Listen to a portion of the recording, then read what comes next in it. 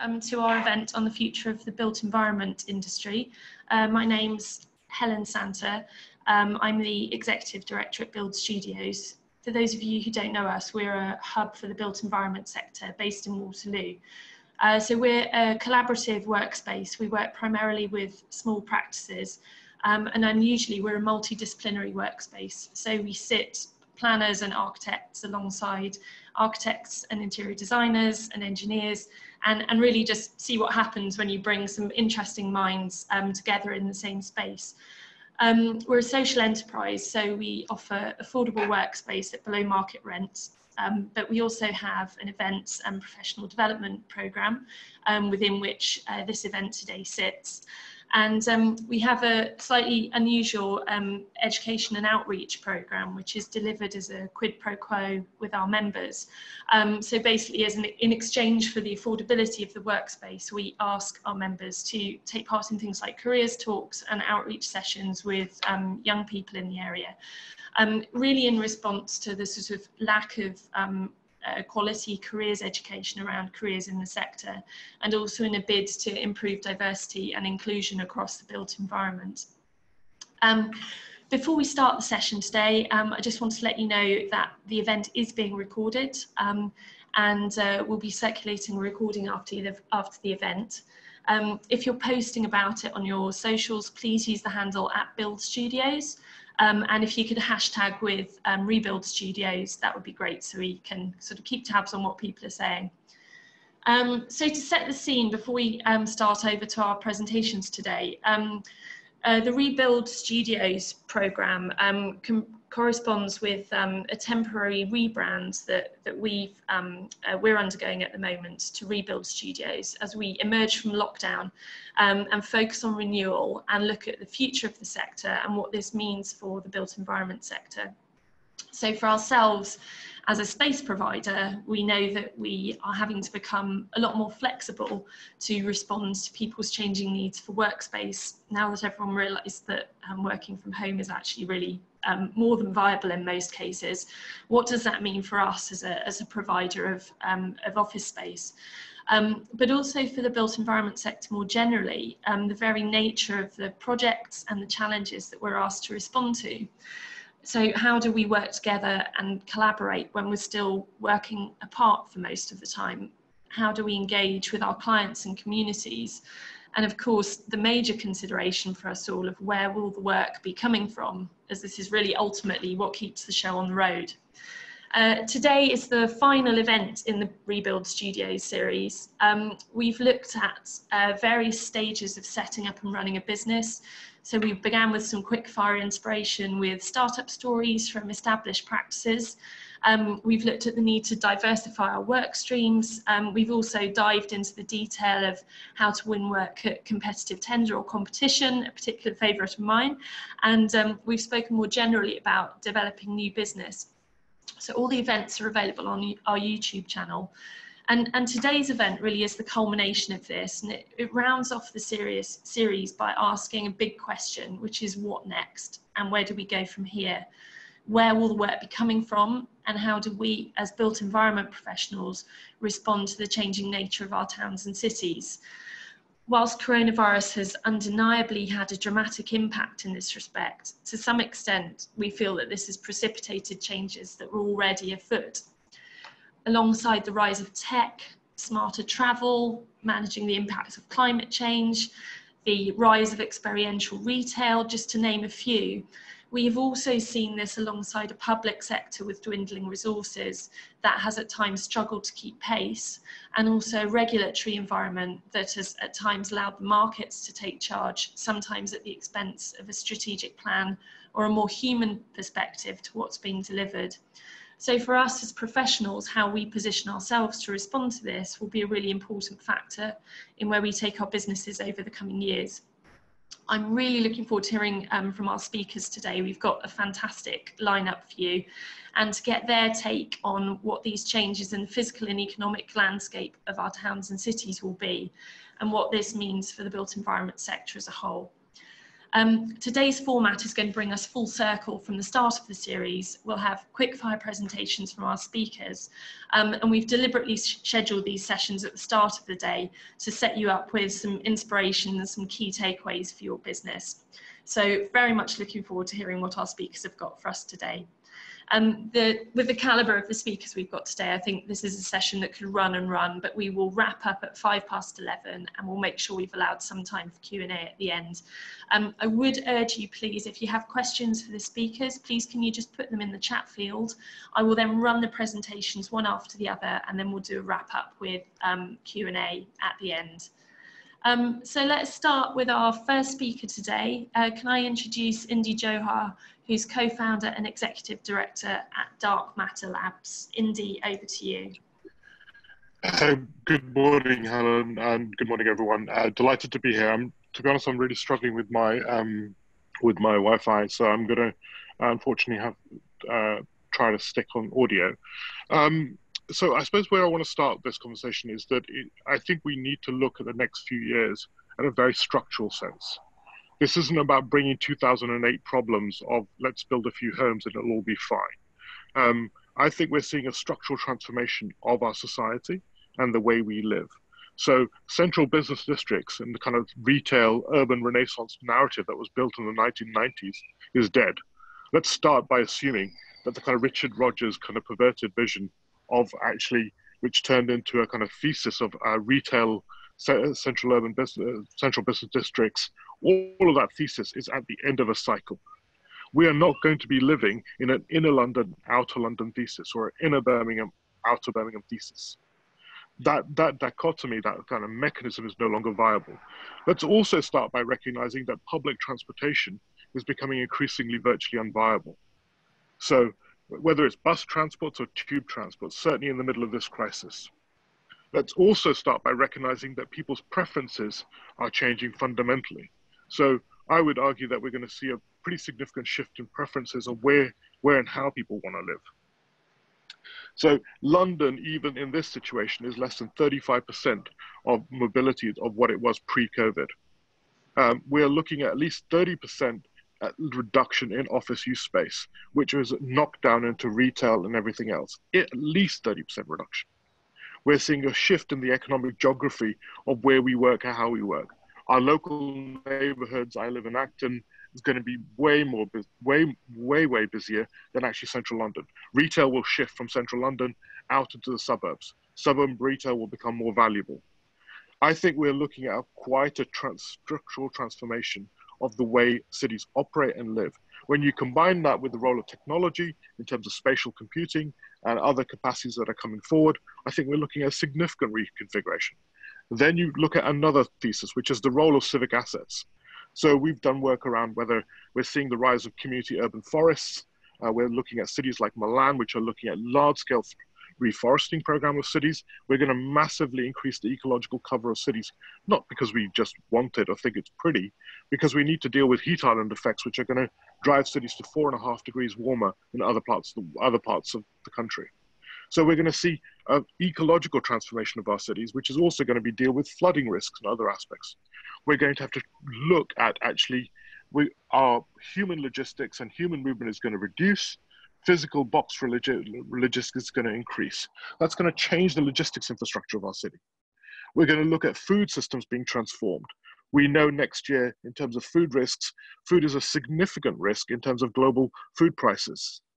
So we're going to look at large scale. America right now is at 51 million people unemployed. What does that look like in the UK in the next few months and weeks when we talk about five, six million people unemployed? So we're seeing, and then when you combine that with any thesis of automation, you start to see an economic ge- geographic shift. And my big plea to this room is start thinking afresh. Stop selling the same tropes of kind of you know the coffee coffee laden cappuccino culture of kind of urbanism and a kind of right in the center of town let's get to medium density and it'll be fine i think we need a very structural transition in the way we live and how we operate and that's coming whether we like it or not and whether you look at the ecological level whether you look at the role of civic assets whether you look at the way we work whether you look at even our thesis on housing all this stuff will change And underpinning it is where is our quote unquote growth coming from? Where is our development coming from? Our human development infrastructures, mental health is actually a really fundamental issue, but not just in a regressive way, not in a way of managing deficits. Mental health is the foundation of our new economy. So if you go in places, work in places like Sweden, working with Stockholm region, you start to realize that they see mental health as the basis of the next economy. So when you start to look at this as physical, as public health transformed our cities in the 19th century, mental health will drive the transformation and positive mental health infrastructure will drive the transformation of our physical cities right now. Light pollution, air pollution, sound pollution have significant micromolecular effects on effectively our built environment. I've probably got one more minute and I'll just sort of, and I think when you look at our physical internal built environment, it's all optimized around real estate. Everyone is trying to get real estate more efficient. Every bloody metric is about how many more people are utilizing that real estate. It is not the real estate that we're trying to optimize. We're trying to optimize human development the metrics have been fundamentally misaligned. Real estate is just 10% of the cost of an organization. 60% is humans. So your greatest efficiency is improving the value and the productivity and the unlocking the full capacity of what it means to be human. And that means like smart rental contracts, which look at indoor indoor air quality. Most of the buildings we work in have between 500 performances massively impaired as a result of that. So if we genuinely want to build a new society, a new economy, we're going to have to make much more structural transformations into our built environment at a molecular level, whether it's CO2, whether it's indoor, indoor effluents, all the way through to all the bullshit of co-working, which I don't think works, right? So one of the things we've realized very clearly is that actually it doesn't work. Communication levels do not increase. You know, what co-working works as is building communities. It doesn't work through density of utilization actually what people increasingly need is private considered space in an increasingly complex world. I think a lot of the data and a lot of the facts that we were using were misaligned. And I think we as a profession became sellers of a kind of real estate optimization reality. What does the future look like if we really start to transform and focus on human development? I think builds different forms of cities. That's it for me.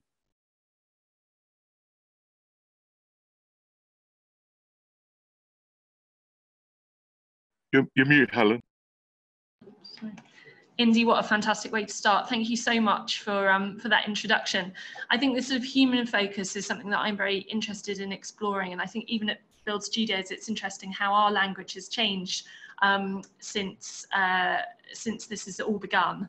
Um, and we're talking much less around um, space requirements and more about people requirements and time requirements. And I think even just the language we're using is changing in this respect. Um, I'd love to pick up on that more, um, a bit more in the, in the Q&A.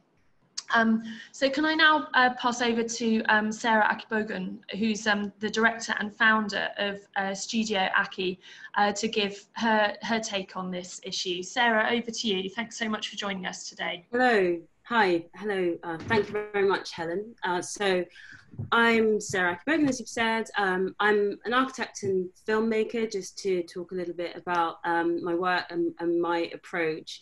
Um, so, I'm kind of a, a transdisciplinary uh,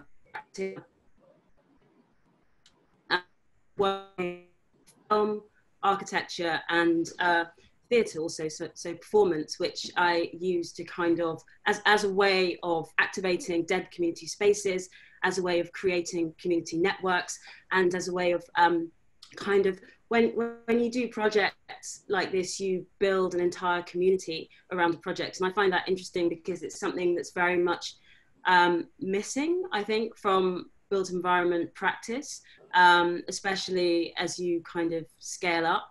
So something i've learned um, in theatre practice is that theatre, especially fringe theatre, is a much more kind of agile, um, is, a, is a much more agile environment and much more able to sort of respond rapidly um, to, to, to issues, to political issues.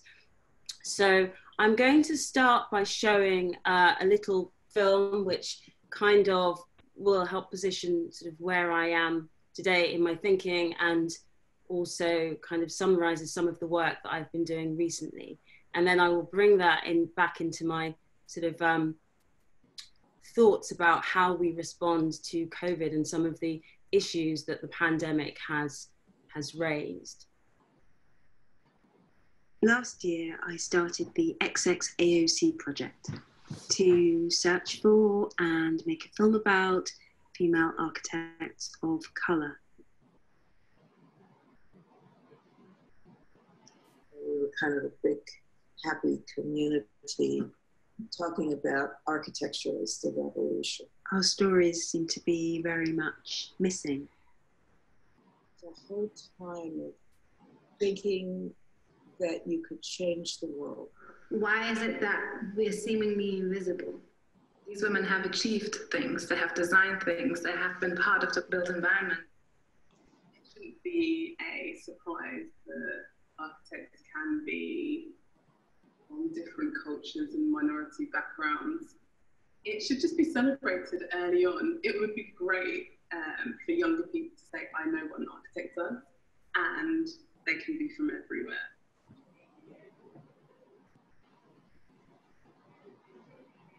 Uh, so, of course, I, I, start there because access to the built environment, um, diversity has been a, a, sort of big issue that's uh, that, that, COVID has raised. So, it has been said that uh, before Corona, after Corona, BC, AC, things will never be the same.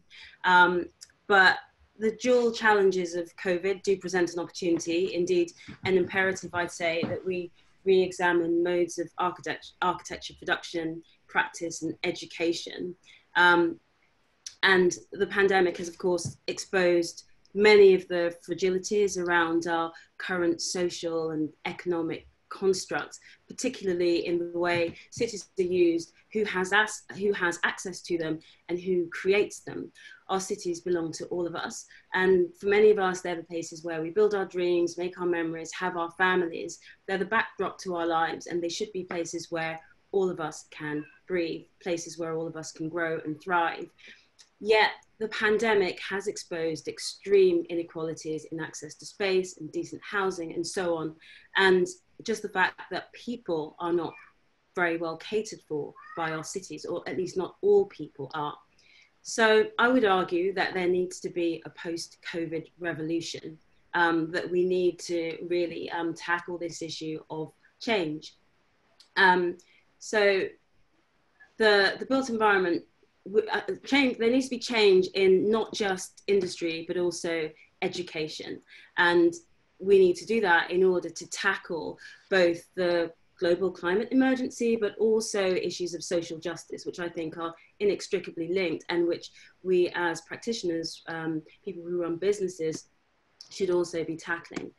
But my worry is that rather than, um, rather than there being a huge change, there will, we will simply revert to business as usual. Um, I find Johnson's um, recent call for us to build, build, build, um, which is a promise that is um, will like you know is likely to be underfunded, um, and uh, although it's been branded a new deal, will actually be more like a, an old an old deal. It's potentially an, an opportunity, but it needs to be underpinned by by solid principles and, and clear thinking. Otherwise, we're in danger of simply exacerbating some of the issues of gentrification um, and the inequalities that that has created. And, you know, we're, we're simply in danger of reinforcing some of the, the front lines, hard front lines that gentrification has created and that COVID has exposed.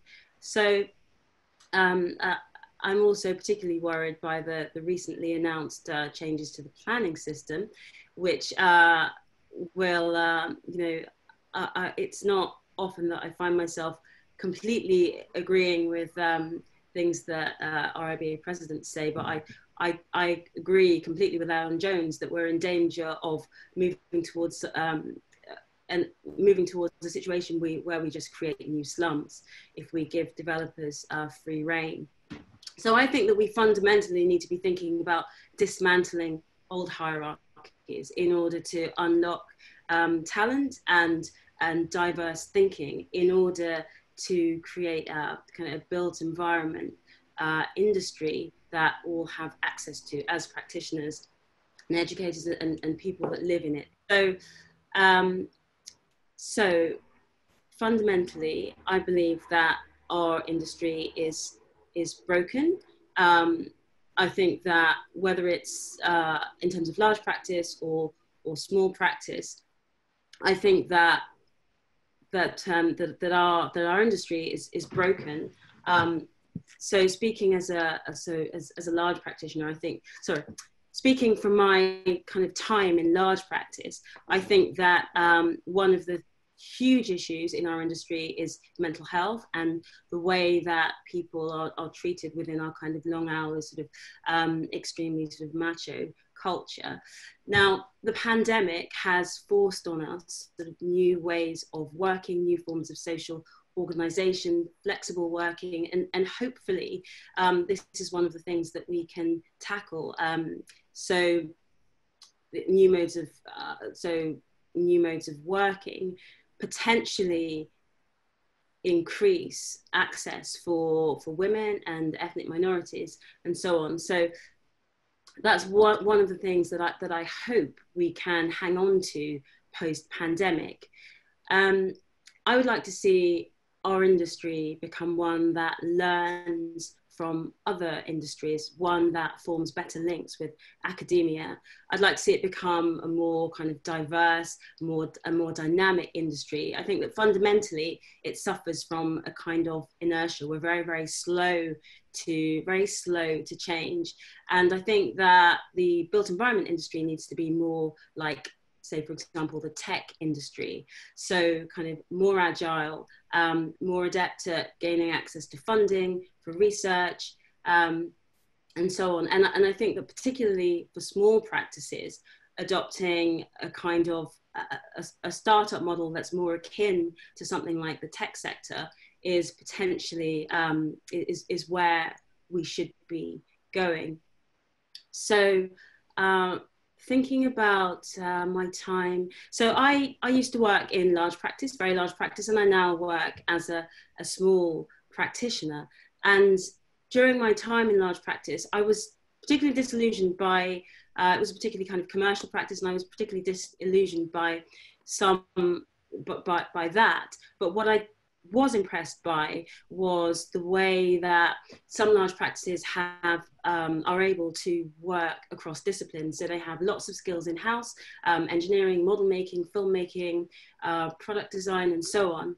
And then, as a small practitioner, uh, obviously it's very different. You, there is potentially, you are potentially isolated um, unless you work in somewhere like Build Studios. And I myself happen to work in, uh, I'm based in a small studio called Rara, which gives me access to um, other practitioners, to, um, to people who work in other creative professions and i very much think that that's the way um, the way the industry needs to move particularly small practitioners so it's not just about um, working sort of with the obvious disciplines that we've worked with, so engineers, um, uh, kind of um, M&E practitioners and so on. It's also, I think we need to be thinking about working with cultural theorists, artists, um, you know, um, uh, scientists and so on in order to uh, in order to learn from other disciplines. I find or have found architecture, kind of traditional practice, um, to be kind of very sort of rigid in, in the way it's structured. So in terms of um, in terms of legislation, in terms of the in terms of what you sign up to as a traditional architect, it makes it very um, the, the forms of practice are are very rigid. Um, so I, for example, am, am trained as both an architect and, and a structural engineer, but it's very difficult to practice that way um, in the way that our industry is structured. And I think that that's something that needs a, a real rethink. It should be, it should be um, easier, simpler to practice across disciplines. And I think that at a small practice level, that's that's really important. I think that otherwise, the kind of margins at which we operate, you operate as a kind of traditional architect. I'm speaking very much about architecture, but um, it, it, becomes um, it, it's quite difficult to make a viable business. So this kind of transdisciplinary approach, one that is supported by the structures surrounding the profession, I think are um, incredibly important. I'm not sure how I'm doing for time. Sarah, I'm gonna. It's been um, it's been fantastic. I'm actually going to move us along to the next speaker now. But thank you so much for that insight. And I think I'm really interested in kind of the good bits from coronavirus that will stick and how we can encourage that, and also what we can do as a sector to kind of try to ward off the bits that we don't want to return. And I think this issue around the pace of decision making is also something that I'd really like to discuss as well, and the benefits of that. Um, so let me pass over now to um, Meneesha Kellay, who's Festival's Curator at the V&A. Um, Meneesha, it'd be fantastic to hear from you on this. Thanks for joining us today. Thank you very much. I'm delighted to be part of this panel. Um, I'm just going to uh, share my screen.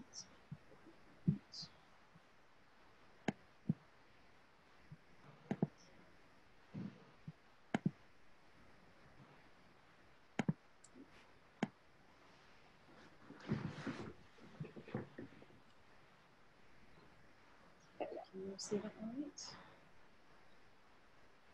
So um, as many have recounted, 2020 has been a year of extraordinary change. Changes to our working, living, health and social pattern caused by a global pandemic has stopped us all in our tracks. In contrast to our previous state of ever-growing projects in scale and ambition, 2020 has continued to be a year for reflection and pause. The plane stopped and we could hear the birds sing again. Amid the fear of a deadly virus, there was a glimmer of hope for the planet. However, despite the lockdown causing the biggest drop in global emissions since the Second World War, this pause has had little impact on climate change. What has changed, however, is our attitudes. We no longer jet off for a weekend away or as easily give in to the instant gratification culture that was the status quo. Then, as lockdown continued, the brutal murder of George Floyd, subsequent Black Lives Matter protests, anniversaries of Grenfell and Windrush, and the disproportionate COVID 19 BAME deaths coalesced to make an urgent conversation about racism and equity unavoidable. The pandemic has been a chance to reimagine what our future might look like, since the future we're expecting has changed. The built environment industry, on the whole, is sadly out of touch and desperately in need of reform. For too long, we have relied on systems created in a time of excess with no consideration for people or planet. We now have a chance to demand equity in order to move effectively into the future we truly, and in order to effectively move into the future, we truly need to understand our past.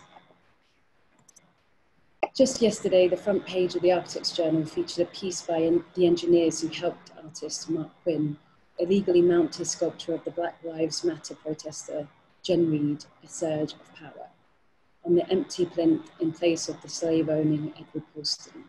Many people, myself included, were initially delighted to see this triumphant sculpture in place.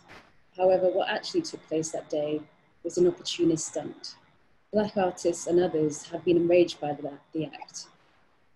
Black sculptor Thomas J. Price states, Marc Quinn's Jen Reid statue colonized the plinth and hijacked the Black Lives Matter movement. It is a con. He has pointed out in numerous interviews that Marc Quinn is an incredibly wealthy artist born into privilege from a very wealthy family and has benefited from a system that gives him access to things that black artists have to fight for, to even get in small quantities.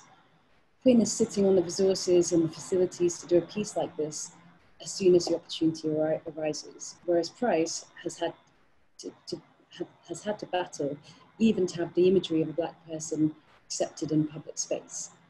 The Bristol community have been fighting for years to have a statue replaced, yet Quinn, as a privileged white man, it was easy for him and, got, and received headlines around the world. Had he considered installing the statue without claiming it was his, or had he, had he or the engineers responsible allowed the space to be occupied solely by Jen Reid and the Black Lives Matter movement, it could have been a genuine act to advance racial equality. Instead, what they've done is compromise space for future commissions. There's a real risk that the Quinn piece could overshadow any permanent sculpture. and therefore hinder real progress during a moment of activism that should have showcased a black man's, a black artist's output, not, not that of a white man. The fact that Marc Quinn asked the, the mayor of Bristol, a black man, Marvin Rees, for his permission to erect the sculpture weeks before the stunt was denied, but did it anyway, shows his disregard for the black experience. This performative solidarity is a barrier to progress at a time when we should be having nuanced conversations about how to make steps to heal past colonial wrongs in public space. These conversations should also extend to what our institutions uphold and represent. The RIBA HQ, 66 Portland Place, itself is a love letter to the empire, dripping with ornamentation in praise of this period. Much of the material used in the fit out for 66 Portland Place was sourced by the Empire Marketing Board. Timbers such as Indian grey, silver wood, Quebec pine, Australian walnut, and so on were used, some for overt imperial iconography, which you can see in this, this wooden carved panel here. In effect, this is explo exploitation of natural resources from across the globe for the UK market. These actions were promoted and celebrated in a process in which architects were complicit. This screen in the Jarvis Hall is regularly used today. It depicts the RIBA Council at the centre of the empire with colonial and dominion parliamentary buildings.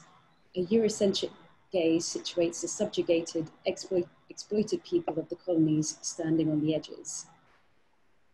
In, in just over, in, in just sorry, in the three years when I worked at the RIBA, I very rarely heard a critique of this building and its celebration of British imperialism. I'm pleased to see Dr. Neil Shasore is undertaking a comprehensive study of the RIBA HQ, unearthing its origins, symbolism, and legacy in a book due to be published next year. The RIBA, whose recent history is marked by allegations of racism, needs a deep and considered strategy of how to reckon with its problematic relationship with representation this certainly doesn't look like the future of the built environment. No organisation or institution is free from this work. For example, Open House London is a major event on the architectural cultural calendar. It opens hundreds of buildings across London for over a quarter of a million people to enjoy over a weekend. Each of these buildings has a fact sheet produced by the Open House team, which details its history and architectural features. These are shared with the public and used in tours of buildings. Currently, they do not reveal the truth about much of our historic architecture. We know that the wealth amassed from slavery is visible in cities across the UK, especially Bristol, London, and Liverpool. In the process of, of abolition of slavery in the UK, the, 30, the 46,000 slave owners received the biggest payout in British history, equivalent to 70,000 billion pounds today um, which was 40% of the British GDP at the time. The op Open House has the opportunity to be honest with its visitors about how buildings as part of its programme were commissioned using wealth derived from slavery. Chandos House here um, is an example um, of this and has been a regular fixture in the programme and is even the location for the volunteers thank you party after the open house weekend. The house was commissioned and built for by James Brydges, the Duke of Chandos, who was one of the largest shareholders in early British colonial development and a large-scale plantation owner in Jamaica. This is just one example, but there are many, many more examples. And I'm pleased to be advising the new director, Finn Harper, on the process of revealing these truths. We're having ongoing conversations about decolonising the V&A, uh, where I currently work, we're reassessing our collections from a period of history that foregrounds colonial, colonialism and empire, looking at where there are holes, the lack of an Africa, an Africa gallery, for example, and we're beginning to analyse the pervasive narratives that do not critically assess exploitation and reinsert erase histories from how we inter interpret objects. I believe museums have a civic duty to make these spaces represent everyone in society equally and with dignity. Um, I'm just going to stop sharing my screen now for a few minutes. Brilliant. Um, Meneesha, thank you so much for that. Um, I think this really important question around as we merge from lockdown, but more generally in the future, kind of who owns the spaces that we're operating in? You know, um, who are they designed for? Who are they designed by? And I think a move towards um, improved inclusion seems to be sort of long, long overdue in that respect. Um, now let me move on quickly to um, Lara Kinneir, who's um, Urban Studies Leader at the um, LSA. Lara, great to have you here with us today as well. Now, over to you. Hi, thank you for the invitation and great set of um, thought and presentation so far. Um, hopefully I'll pick up on a few um, bits of. Um, so the, the, I want to talk about two things and they focus on the how, not the what. Um, and it's a passion of mine for a very long time that we're very good at talking about what the problems are or, or what potential solutions are, but we're not very good at working out how we can achieve them in a way. Um, and I, th- I think that's one of the biggest takeaways for me from lockdown that um, we have seen different ways that people have behaved, um, collaborated, um, addressed needs, and there's a lot to be uh, learned from that. So the first issue is around um, it, it's a bit of a fundamental one. It's about our understanding of the built environment in the first place. I got really annoyed at the beginning of lockdown when I started to see the signs that talked about social distancing because I don't believe it was about social distancing. It was about physical distancing, and um, I, it started to really worry me that this was the wording that was being used across the city, um, physically and and digitally, because it made me think we have so far to go to still um, get people to understand that the, the, the, impact of our physical environment. Um, because if they couldn't get it in this context, when would people get that the physical environment has a significant impact on us as individuals and, and how the city works? And it made me think back to um, something I learned in school and something that I've been practicing as a parent, which is um, the understanding of, of a child's physical um, environment in terms of their development. Um, it's something that's very well documented and evidenced in social sciences. Um, why do we think it stops when you, you grow up? Um, it doesn't. It continues from when we're a child to, to um, when we're an adult. And so I think we have a real need to bring that evidence to the table much more strongly to show that our built environment really does have an impact. And, and the other what I've had is is around my upbringing in Belfast uh, during the Troubles. Um, you know, I, there was a very distinct physical, um, a number of physical interventions across the city when I was growing up, which meant I had a very unusual relationship with it. I couldn't go into the city centre after 5 p.m. every day because it was shut down. And those physical barriers remain today, albeit in different forms. And the psychologists would say that for every year that a physical barrier existed in the city, it took 10 years to psychologically break that down. And I think we've got to be really serious about the physical barriers that are going up in our city in London at the minute and the impact that they will have um, and the terminology that we're using around it. Um, I, I think the more you know the the the wrong sort of messaging that goes out um, the harder it will be for us to recover and that it's harder for us as a you know within the built environment industry to try and um, recover from that as well um, the second issue is is an, a well established um, one and one that many people in this conversation um, work within and and that is around the struggle to holistically consider the built environment and therefore act in a holistic manner. The built environment involves many different disciplines uh, that require cross pollination, but sadly, we aren't taught that way. We're educated in silos, we practice in silos, our city modes of working are in silos, our governance is siloed. And the government response to the pandemic has, in so many ways, been siloed. And, and, and many times I've been you know, even less hopeful um, uh, during the pandemic than I was perhaps before, that there was a way out of this. But so that I'm not all doom and gloom, um, there has been uh, an outpouring of non siloed working. and that has come in the form of collaborative exchange and and direct response to direct need. A, lot of the time, it's from grassroots organisations. Um, or from uh, practices that um, have reached out and worked beyond their usual group of friends. Um, it's come from community groups partnering with arts organisations or mental health charities.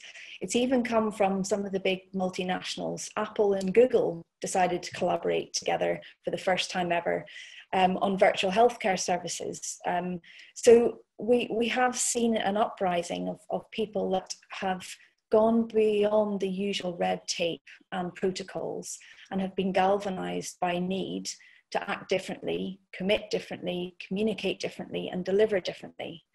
And this is a behavioral change that I want to be part of sustaining um, because I believe the breadth of collaboration that these sorts of projects demonstrate is the only way that we will start to see the change we need in the built environment and the only way that we will come close to speeding up the delivery of change that we are already behind on.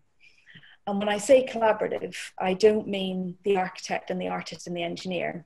I mean the architect and the economist, the behavioral scientist, the philosopher, the lawyer, and and, and this really is the essence of a, a new form of practice that, that I'm um, I was establishing before lockdown, but this has almost been a, a, a, fuel to the fire to, to establish this as, as quickly as I can.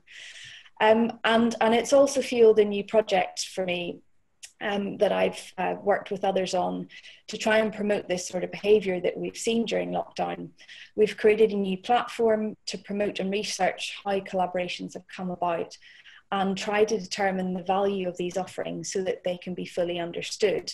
So I will just share my screen with you just to share the website.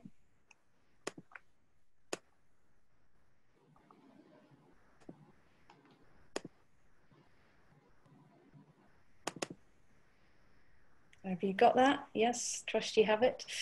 Um, and it's very simple. It's just trying to create a space which gathers projects that can demonstrate the power of collaboration, of going beyond the usual way of working.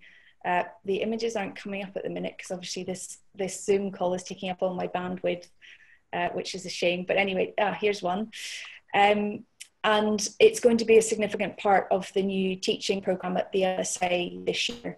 Students are going to be asked to engage with it, research it, um, incorporate it within their work, because it's very much the fundamental agenda that we have at the LSA, which is to encourage architects to not follow what's been done before, but look at how new relationships with other professions, other experts, other evidence bases can be part of them shaping the built environment in a more effective way. Um, so if anyone has any projects, I would love to hear from you and these can be uploaded. And I'll just, um, and I guess the, the other thing just to end on, um, which I'm just going to check my, I've probably got one minute left, um, is is that not only have we seen the outpouring of cross collaborative working in a very different way, but very focused on need, it's been much more human based. And it's also been um, at the scale of the neighborhood. And I think we're seeing a lot of conversations about the neighborhood being the new scale of focus. Um, it, something that I've been interested in for a while is the 15 minute city agenda that the mayor of Paris committed to at the end of 2019 as her mayoral election pledge. She used that a lot during lockdown in Paris to start to roll out some of the cycle lanes and new modes of transport around the city, and in fact got re elected um, just a few weeks ago. And I think the 15 minute city model is interesting because it's not siloed. It looks at places holistically. It looks across places of living, places of working, places how you move around the city, and it's very much human centered. Um, I think we're also seeing some really good examples coming out of Kate Raworth's work on doughnut economics. Um, so I'm, I'm confident that somehow in what has been quite a messy situation for many people, we are seeing solutions and that they are very much focused on a more human scale and a more collaborative scale and a more holistic approach to things. Um, And by bringing very different people around the table, working in different ways, in different times, we do have an opportunity to achieve a lot. Our old ways of working are redundant, and our time, I really believe, is up. And we have, um, you know, the future of people and planet depending on it. And I think us in the built environment industry have a lot to offer this situation. Lara, thank you so much. And thank you for um, uh, sort of ending on an upbeat note. I think this sort of solutions focused approach is really what we've got to strive for here. And this idea of collaboration, I mean, even achieving that within the sector is challenging, but you're right, it's absolutely got to kind of reach out to other sectors as well if we're really going to affect change. So thank you very much for that. Um, I'm conscious of time, but um, I want to um, uh, make sure that we uh, kind of get the get the most out of our speakers this morning, as I think that the um, the insight that's been given is um, is really really helpful in terms of a sort of forward-looking piece for the sector. So let me move next to Sumita Singha, um, Director of Ecologic Architects. Um, Samita, thank you so much for joining us today, especially as I know you're, uh, you've been feeling poorly. Um, really, really appreciate you having on the panel today and um, look forward to hearing from you today. Thanks for joining us. Thanks, Helen. So welcome everybody. Good morning. Uh, so I, I want to say that I come from this issue from several different angles. So I, as, as Helen mentioned, I, I run a small practice called uh, Ecologic and it's a collaborative practice. So I've done uh, fairly large projects, urban planning, etc., in conjunction with other practice. So it's kind of about collaboration. Um, I teach part three, and so within my teaching, I've noticed how things have changed with the pandemic. Not only did we have to change the way we were teaching, but we were also um, looking at uh, students who who didn't couldn't go on site. Um, you know, work had stopped or they were furloughed uh, and things like that. Um, I started and I run a design charity, Charushila, which has worked all over the world. Um, and I am trustee of the Architects Benevolent Society and the Commonwealth Association of Architects. And in particular, I would focus on the Architects Benevolent Society because we have seen a rise um, in people applying for, um, you know, they're, they're suffering uh, financial hardship or mental stress. Um, so if you do, you know, I'd say please go on their website. There's very good um, um, options for if you're if you're suffering from stress. Uh, there are ways uh, they offer help. So please do go on their website. So I've also written books, and in um, 2014, I was writing this book, and I'd actually started thinking about how architects could uh, work in the future, even though there was no pandemic in, in sight then. And some of the things that I'm sort of noticing now are uh, quite interesting because they coincide with what I've written. Um, I sit on the RIBA professional conduct panel. I've been involved with the RIBA for about 30 years.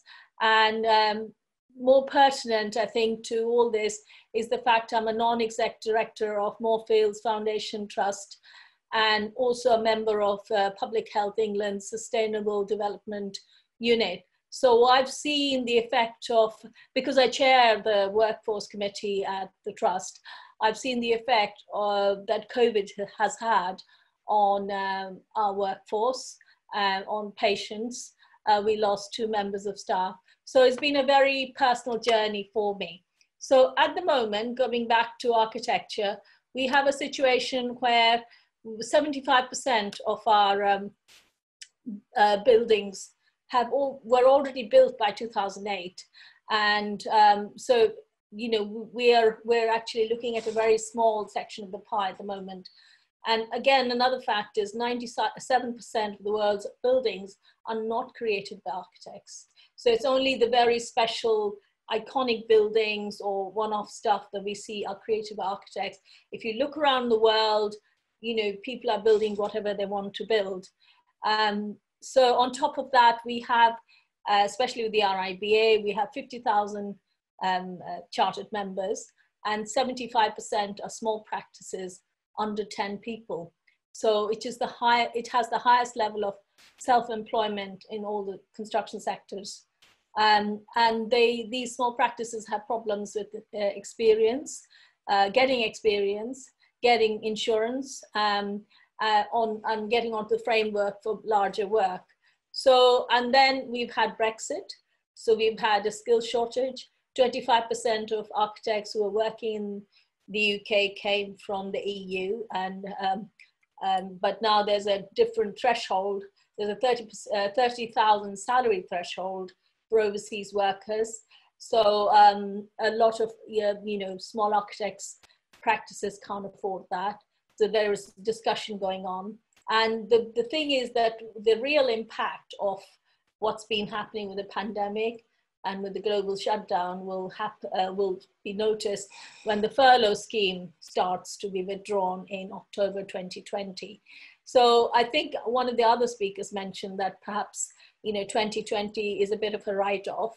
Uh, there's been 28% drop in workloads as of June 2020, but we're hoping that 2021 will have a V-shaped recovery um, and we'll go back to sites, pick up the jobs we weren't working on. Um, and also this physical distancing that Laura mentioned, you know, is making site work slow. And so people, and also in London particularly, getting to offices and sites using the tube is, is very difficult. You know, there's a risk of catching infection. So what we'll see is probably people finishing up the jobs they already had before looking for new prospects. Now, looking at the strength that we offer, that we have as architects, is we actually contribute 3.6 billion to the UK's economy. Now, that's a, a good percentage we do, and uh, the work of architects is respected. So there, there is that thing that we come with that, um, uh, with that uh, knowledge that we are contributing to the economy. So the RIBA is an international brand. It's, uh, you can see it across 115 countries. Um, buildings are always needed and our skills are needed, which architects have plenty, in, uh, plenty of. So what we need to do is actually work collaboratively. So even though we're leaving the EU, we have network of other countries where we can work in and we need to focus on working in collaboration with other people and think big you know where where the where, are you needed? Perhaps you know it's not always the iconic buildings that are needed. Perhaps it's the disaster zones. Perhaps it's other areas uh, in urban development. So uh, the covid has also uh, given us opportunities for different ways of working but we also have things like climate crisis which is also going to be affecting us. So post covid we'll see this um, we, we, we already have seen this connection between health, buildings, and nature, and evidence based design. So I think where we are going ahead is sectors such as housing, schools, and healthcare will have a big growth. Housing for the elderly will also have a growth. Home working will affect housing standards. So you might need different kinds of homes. You might need extra space. Um, also with the climate change, we'll see net zero carbon buildings. So I suggest, you know, if you've got time, just try and sort of build up on that knowledge. Retrofit become very important because, as I said, most of the new buildings have already been built. So we need to think of retrofitting and thinking about uh, the climate crisis at the same time. There are some good uh, things coming out of the RIBA uh, that people are working on that. So um, either with or without change, architectural design services will be needed. We need to be hopeful. We need to work in different ways, new ways, and work with change. You know, always accept, expect change and accept it too. Thank you. Sumita, that's fantastic. Thank you so much for that. And also, you've um, preempted one of my questions at the end, which was some recommendations of some specific sectors or specific subject areas where there are genuine opportunities emerging and where the bulk of the work is likely or could potentially come from in future, and more thoughts about collaboration, which is always music to my ears. Um, we have two final speakers, um, so let me pass over to Peter Croft, who's um, a Principal Urban Designer at Dartford Borough Council and a Public Practice Associate. Uh, Peter, over to you.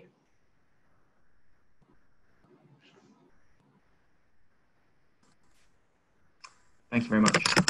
Um, let me share my screen. And uh, Julie, I will try and be uh, done in four minutes. So start waving at me if I'm not. Um, so where do we go from here? Um, and this presentation is really a response to um, the government's uh, confirming yesterday what build, build, build means uh, for town centres. Um, in fact means uh, change of use, demolish and rebuild, uh, i.e. where the market doesn't support town centre uses, we put housing. Um, and we're waiting on the detail, but I think this could be potentially the most consequential change uh, for the post-COVID era for our towns in particular, uh, town centres. And it's a self-fulfilling prophecy really where um, uh, town centres are struggling, so um, you change and put uh, additional or you put residential uh, in there, which creates social conflict and uh, further kills the town centre. Um, and there was a resp- the thing that really struck me though, I guess, was the response from the industry. And uh, despite strong words from a joint letter in the uh, RTPI, RIBA, RICS, um, it was broadly an argument about process rather than substance, in that they were saying that the process will produce poor quality homes and bad places to live. And I think the problem with the soundbite and also the response from the industry um, was that it, it, loses the conception of what a town centre is um, in sort of accepting that what cities and towns are for uh, are houses, but houses aren't an end uh, in the same way that roads and railways aren't an end in themselves we have towns and we have town centres for culture and community, commerce, conviviality, um, and uh, there needs to be that understanding of what we're losing because there's no there's no reverse. There is, however, no getting away from the fact that physical retail is in decline, um, and that we're going to have an increasing surplus of, of shops and uh, office, in more office buildings uh, in the near term onwards. So retail is dying, but do we have to let town centres die with it? Um, and, and I think you know the government plan could be right for some uh, some places, and it may be a solution for, for lots of places, but it's not the solution for everywhere. And it highlights the, the issue of um, centralising design control. Um, what we really need is local solutions for local challenge, local challenges, and that's why uh, local authorities are best placed to lead the recovery. Um, and these, these photos are of uh, Dartford High Street. This is my patch. Uh, it's a very typical high street in a market town, um, but of course, in this case, typical really means it gives Dartford its identity and means that it's not uh, a suburban extension to Bexley or, or, Stone or Wilmington or places you haven't heard of um, because they don't have town centres. Um, but there was an issue even before uh, COVID of, of declining um, retail demand, even though the population is increasing significantly. And so, what do we do instead? Um, this is my office, my office that I've been to twice uh, because I started work in April. Um, and uh, it's next to the station. Uh, and I think this could be the start of how you could shore up and change what our high street in Dartford is for. This is my local solution. Um, this is a big development site. The council owns all this land. They also own the land to the south and to the east. Um, but rather than knock down and rebuild uh, an office building, a spec office building, why don't you buy up uh, strategically and disperse the council functions, the public facing council functions and the office functions above along the high street to uh, support and shore up what's already there and then we also uh, are looking at, uh, we've got a lot of sites on the edges of the town uh, for colleges and further education. They have huge catchment areas. They're not about necessarily their locality and serving the, the suburb that they're next to, but have a much wider catchment area. Uh, why are we building these on the edge of town? We've got North Northgate College at the bottom of the image uh, and then academies uh, out around there. Why don't we take these and, and, bring those uses into the town centre? Um, and make and make use of bring young people into the town centre, bring football into the town centre activity, um, and and start mixing those uses away from retail. And then finally, the council is is is well placed as as a sort of uh, to, to be doing this in that it has the long-term stewardship of, of the area. Um, it has local knowledge in terms of data, feedback through local democracy and direct communication, and is also potentially could have the ability to create new markets. So, so taking spaces, providing spaces for businesses at, at low, uh, low rates uh, and allowing space for new ideas. So in terms of uh, where the emergence, uh, the opportunities are emerging from disruption and where there will be new work coming from, I would argue that it needs to be uh, a local solution. Um, local authorities are best placed to do that. And so uh, come and speak to us. Come and speak to us with your ideas uh, uh, about how we can um, rebuild and shore up our town centres. Peter, thank you so much. Really good to have um, a public sector perspective on all this as well, because my perception at the moment is actually, in many ways, the public sector is the only only people, anyone spending any money at the moment. Um, so I think in terms of immediate opportunities, this is um, you know very very interesting angle for people to pursue.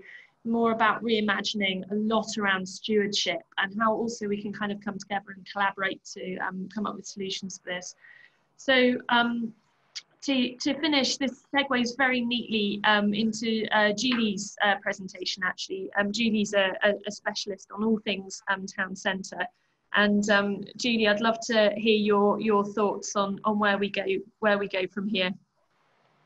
Thanks, Helen, and I will speak as rapidly as possible. And I think lots of my comments are probably summarising a lot of what we heard before. So let me start by saying I come at this from an urban geographer's point of view. And I worked through, as many of us did, those early weeks of lockdown, kind of wondering what was coming and what was happening to us. And, and I actually completely concur with um, two or three of the speakers and many others who have, who have documented their thoughts on this. That is, whilst COVID is an enormous global crisis, it's also an amazing opportunity to rebase. And I absolutely relish the opportunity to do that in our careers and our personal lives. And I did a series of um, uh, sort of published posts on LinkedIn in those early weeks of lockdown, and I'm just going to run through very, very rapidly three of them um, in an order that feels reasonably logical to talk through with you. Uh, but, but the first one, it came forth um, in my thinking. The first one is talking about human senses, and I think a number of our speakers have, have said this too, and inevitably, I think probably coming from many of you who are architects, come at it from this place.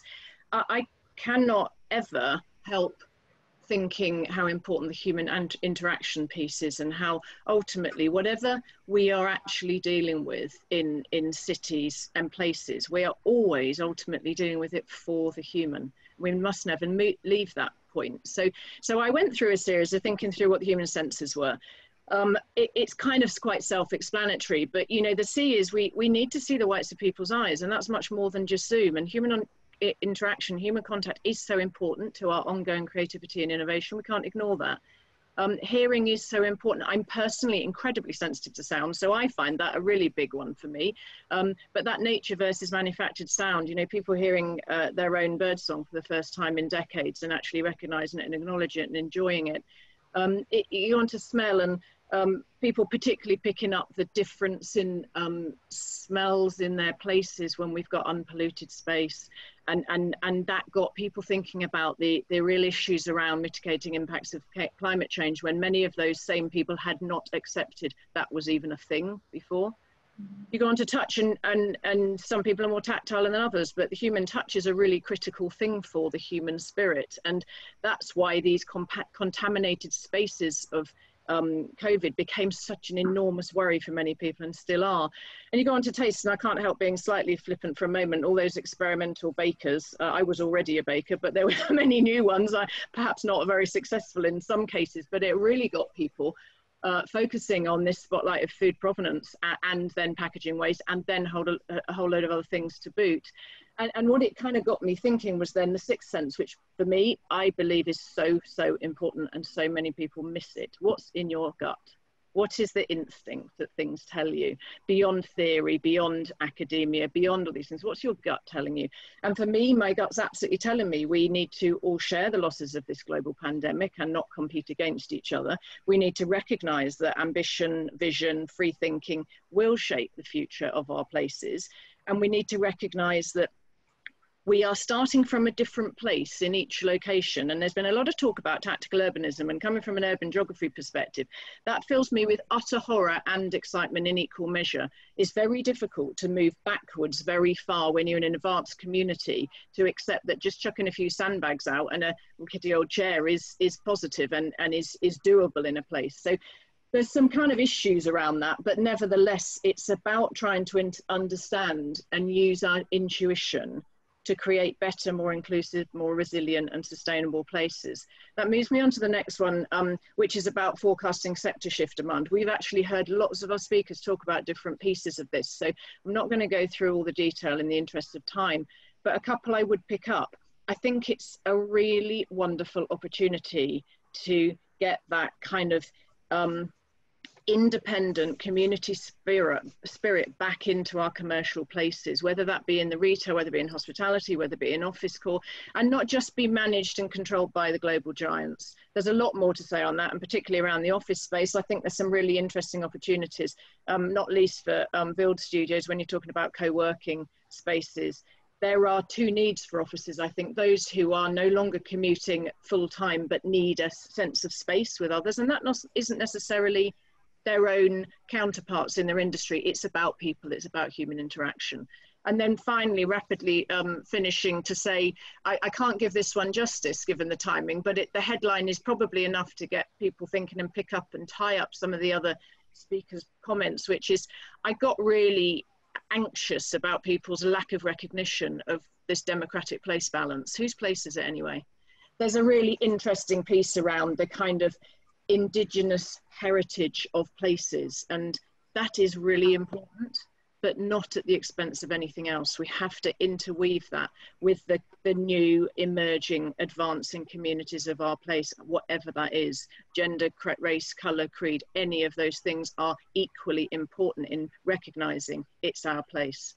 That's where i'll stop helen Julie, wonderful um, to hear your thoughts on this. And I think, um, you know, I've been really struck throughout the presentations about the the sort of the common threads that are coming through around this idea of, of kind of ownership and who are we doing this for. And um, we, we, we've not got questions coming through on the Zoom chat, so I'm, I'm going to just take chair's prerogative and, and just finish with a couple of concluding remarks.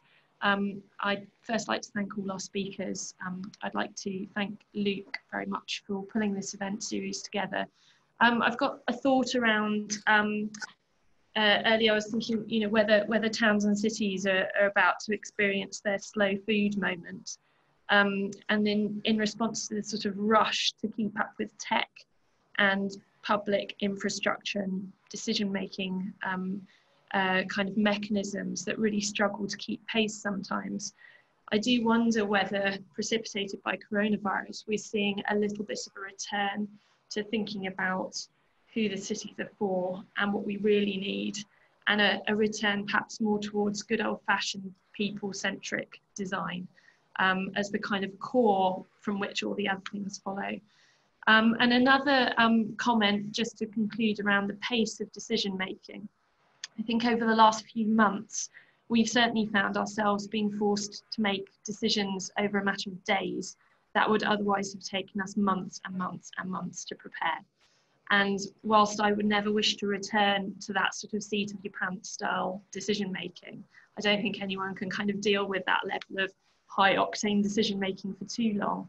I do think that the freedom, the enforced freedom, if I can put it like that, that this situation has given us all to be prepared to take some risks and look for opportunities, new opportunities, find different ways of doing things. We've seen this a little bit with play streets, councils that previously weren't really, you know, kind of even interested in kind of um, acknowledging the concept, let alone accommodating it, have found themselves giving over more space to communities. And I think um, one thing that I hope that we can take away from all this is that confidence to give things a try um, on the basis of the best information that's available at the moment um, to take a decision, own that decision, and be prepared to change our approach when the situation changes. Um, so on that note, I'm aware we're over time, but I, I, wanted to let the speeches run today because I think you know we've got such a great lineup and some brilliant insight. Um, thank you very much to all of you um, for attending today. Uh, as I say, this is the last uh, in our event series, um, but all of them are available uh, on our YouTube um, uh, channel if any of you um, would like to uh, kind of catch up on them later. Um, we've taken a lot of inspiration. There are a number of subjects that I particularly want to pick up on for future events, not least around collaboration and the opportunities arising from that. And also this um, question that came up in an earlier session about supporting young practices uh, to build their portfolio. I think that's something where we've certainly seen a lot of interest in, in doing more. Um, so thank you again to all our speakers. it's been a real pleasure having you here, here with us today. And um, we look forward to seeing you at um, some future events. Thank you very much. Bye bye.